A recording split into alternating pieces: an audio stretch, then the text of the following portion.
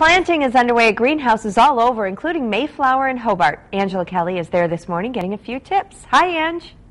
Hi, guys. Good morning, everybody. How would you like to be in 65 degree temperatures? I am this morning here at Mayflower Greenhouse in Hobart, and we're getting some tips on spring planting. They're very busy here. They've got things like heliotrope growing, and lots of other plants. This is Jan. He is the owner here. Good morning, Good morning. to you. Good morning. So, uh, tip number one for our viewer: we got to start thinking about actually planting and sowing the seeds. At this point, I would I would start thinking and uh, getting ready because it's still kind of too early to sow the plants. Because if you'll sow them, they'll germinate, they'll be tall, spindly, leggy, and then they won't work.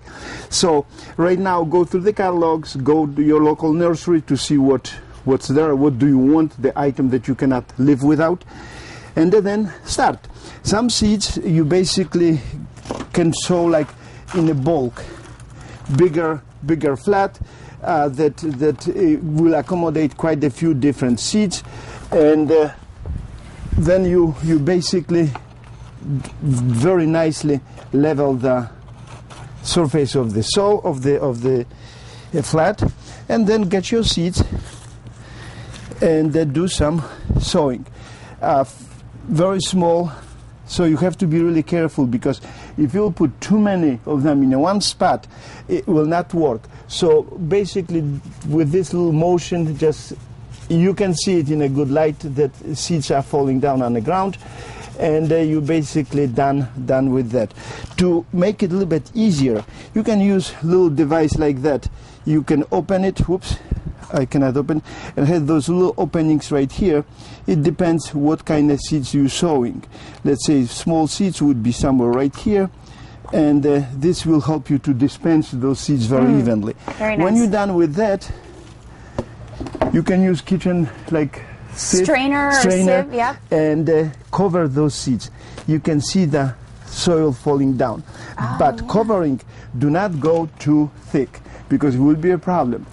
Uh, general rule is that sh- soil and the top should be like one and a half uh, dimension of the of the seed. So if seed has a let's say one eighth of an inch, so should be around Mm-hmm. two eighths of an inch or so on the top. and how often should we water water Uh, you basically water it once after you sowing, and do not use a strong uh, water uh, source like uh, oops, basically like window. Uh, um, Use a spray bottle, Yeah, basically. Exactly, yeah. and works It's perfectly. more gentle, and then leave it on like a windowsill after you've covered it.